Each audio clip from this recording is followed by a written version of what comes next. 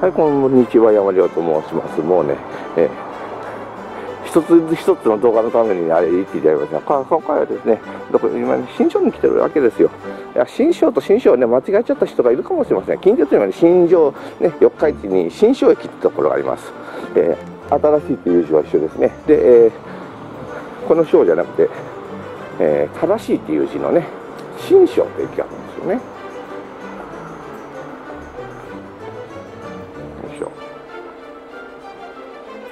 ね。もしかしたら世の中には四日市の新庄駅とね、えー、新庄駅間違えてきてしまう人がいるかもしれません。そのためにもね間違えてきても大丈夫なようにここは言われてあと新庄駅からね新庄駅の行き方をねやろうじゃないかと、うん。もう完全にあれとババータですよ、三日市のやつとね、全部一緒です、収録してるの、えー、もう一緒にぐらぐらやってるんで、えー、全然ベストなルートでもないです、なぜならこの後まず逆方向行きますからね、小瀬線の方行きますし、えー、小瀬の方にね、とりあえず、電車、ゆとりに来そうなんで、準備しましょう。えー、文字駅ですね。言うても、本数あるんですよね、ここ。なんか用があって。安倍の町吉野駅ああで連絡するんですね、えー、こういう連絡取れとるのはありがたいんですよね。近鉄は。今日も大丈夫。だってなったら明日も使いますからね。でちょっと合成方面行きたいんですよね。まあ一般的な2面2線の対向式ホームですよね、えー、ここはあ行こかは使えないあもう来るのかな。確かここで交換するみたいでしたよね電車を。じゃあ待ってましょう。もうすぐ来るでしょう。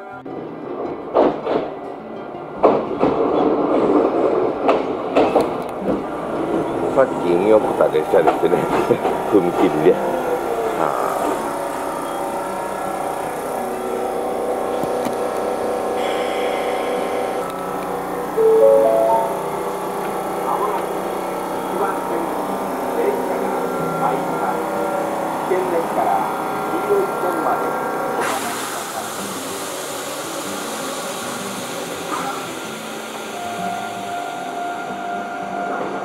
おお来た来た来た来た。これで五線に向かいましょう。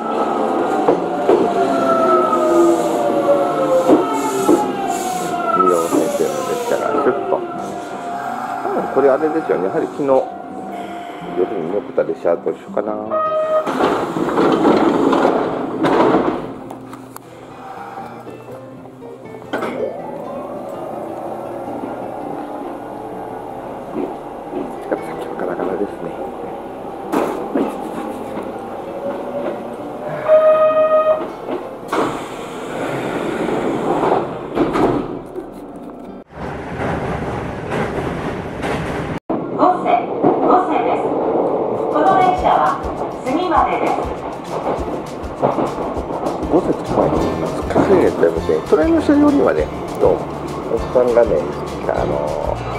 前面前後でねかぶりつきのところで、えー、ご覧になったことがいいですね。こっちが後部製ですね。いいですね。さすがにね肖像権があるんですけど、えー、子供がね楽しそうにあの運転席の後ろからねこう覗いてる姿をね見ると、うん、いい光景ですね。まあ列車も近鉄ね旧型古い列車かって言いますけどねシートとかちゃんとしてますしね。正直私古い列車の方がねふかふかなんでねあの RC 列車って結構硬いの多いじゃないですか。だったら私旧旧型でもいいと思うんですけどね。どうなんでしょうかね。改めてはあの LC カーは別ですよ。LC カー硬いですからね。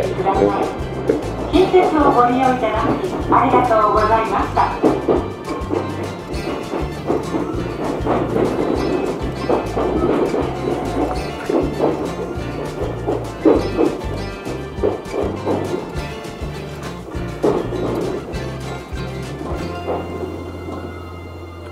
さあ、女性駅着きました。